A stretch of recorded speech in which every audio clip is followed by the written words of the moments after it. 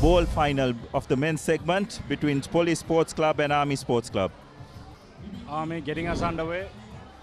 Nice high hanging kick contested, but uh, that is stepping on the inside, looking for the offload. Pevituru once again goes into contact.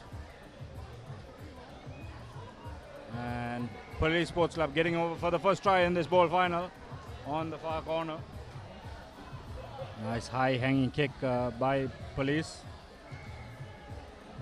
Player not rolling away, so Army with the penalty. Looking to run from inside their own half. Nice little stutter step. And uh, running through is Rifan Mohammed. Does he have the gas to go all the way? Yes, he does. All the way into the corner. Brilliant individual try there by uh, Rifan Mohammed. A couple of steps in the middle of the park and then just turned on the gas. Uh, so we're in for quite a game here. That little goose step, turning on the acceleration, and away he goes.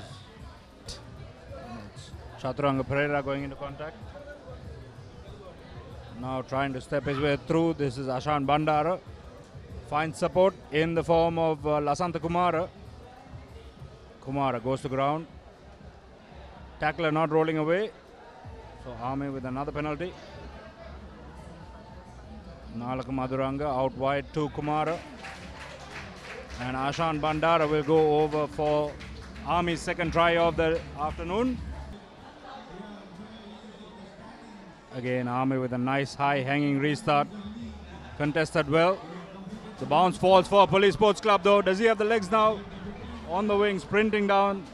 The cover tackle coming from Rifan Mohammed. Excellent work there by uh, the young soldier. Brilliant tackle in the corner. Stopping what was certainly a try. The assistant referee and uh, the referee are, but uh, looks like it's going to be police who is going. Yes, I think police can consider themselves a little bit unlucky. Don't think there was much in it. Yes, just creeping up a little bit too high. Now Army looking to contest, uh, run from inside their own 22. Nice little offload on the inside. And this is uh, Manoj Kumara. Turns on the gas down the inside and will sprint in under the post.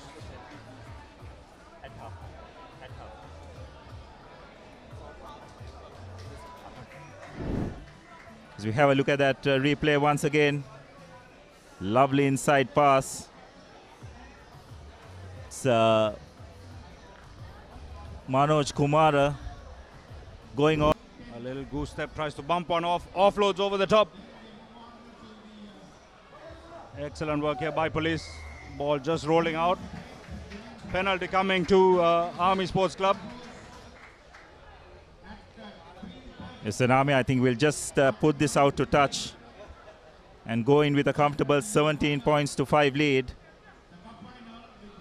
Yes, and uh, over the course of halftime, we're going to have a chat with uh, some of the CR&FC legends, a few members. Be interesting to hear what they have to say. Done a lot of good work to put this uh, tournament together. The plate final is against your bitter rivals just across the road against CH&FC. You will want to make a statement here in the plate final. uh, and having a, a lovely time. I mean, it's much needed.